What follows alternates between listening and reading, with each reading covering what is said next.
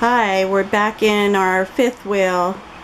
This is I'd Rather Be Camping. We've been working on the floor and I thought I'd have my husband explain a little bit about how we're doing the slide out. Yeah, we're using a Allure floating vinyl floor. It has two sticky tabs. One sticks to the other. It's pretty easy to lay down and it's real durable. But the way I'm doing the slide out is I put a quarter inch piece of subfloor out to the edge because our slide out was back here an inch back. So Yeah. this plastic neoprene piece here is what it actually slides up on. It comes up out of the hole. This is at a 45 and it slides into the into the uh, coach. So I'll have her slide it in a, or I'll slide it in a little bit Show you how it is. show you. Yeah, there it is. See how it comes up and Yeah. Slides along that neoprene piece.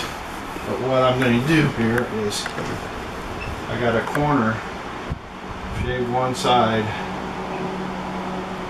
so it would fit like this and cover our plastic edge. And there won't be a problem because all this comes up in the air Yeah. when you move your slide out in. But it makes a nice trim. We uh, stained it with um, Sun bleach, sun I think it was called. stain, As close as we could find. closest we could get to the floor. And I might later put a little bit of white in it. I'm not sure. Or dark. We'll see how it I think comes it, out when we're finished. it But that's pretty much it. If you want to get rid of your carpet, yeah, this is the. do the wood flooring your slide out also. Yep. We're almost done. We have been doing the basically the molding trim around it. This area is not done. The booths will be going back in there. This is the dining area. Yeah, and the table. But uh, the floor's real nice. It's real nice. Working on the steps we have to finish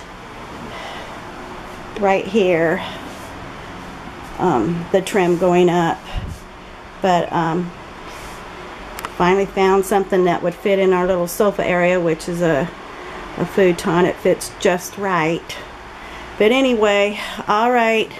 Thanks for watching. We're going to get back and you're going to glue that strip down, aren't you? With what are we Yes. using? Liquid nails. Yeah, it's pretty. We've been using that on the, the rest of the molding strips and it cements it. Liquid nails construction grade. Yeah.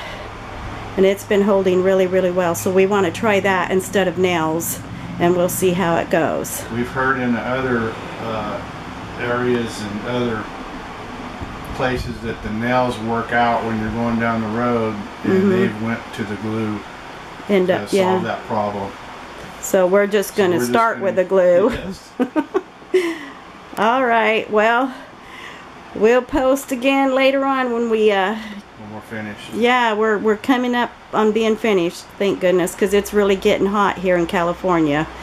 Um all right. Thanks for watching. See you later.